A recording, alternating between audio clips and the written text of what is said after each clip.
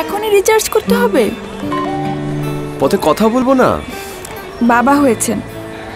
ভবিষ্যৎ নিয়ে তো ভাববেন। আরে আমরা কথা বললেই ভবিষ্যৎ নিশ্চিত।